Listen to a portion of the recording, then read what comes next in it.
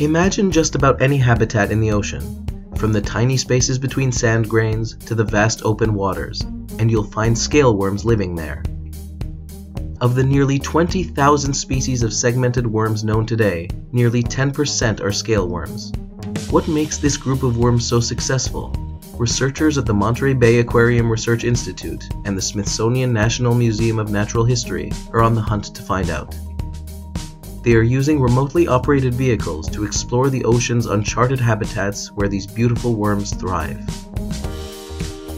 Scale worms are easily recognized by the fleshy scales covering their backs and the hundreds of dazzling bristles below them. Scale worms dominate the deep sea, not only in terms of species numbers, but also in the variety of their shapes and sizes. Despite this stunning diversity, for most deep sea species their mere existence, where they came from, and how they have adapted to survive in this challenging habitat remain a mystery.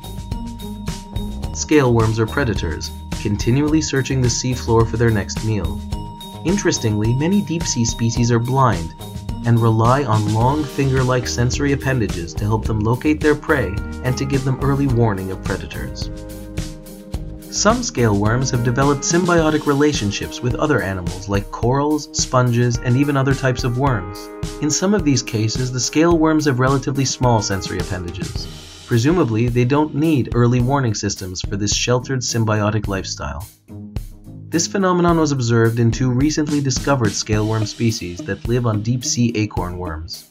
Their lack of eyes and the tiny sensory appendages on their heads initially gave scientists the mistaken impression that their heads had been bitten off and were regenerating. On the other end of the spectrum, some scale worms have evolved to live in the vast midwater. The result? Extra long sensory appendages that may help these worms detect approaching predators and prey even earlier.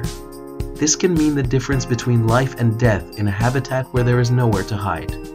The extra long appendages in many swimming scale worms may also indirectly contribute to energy savings by helping them sink more slowly. Remarkably, this unusual scale worm has another buoyancy trick. It arches its scales to form a channel above its back, presumably increasing its surface area to keep itself afloat without swimming. Scale worms are a fascinating group of animals. Investigating their diverse forms and behaviors reveals the many ways this particular group of segmented worms has been able to thrive in so many challenging habitats, including the deep sea.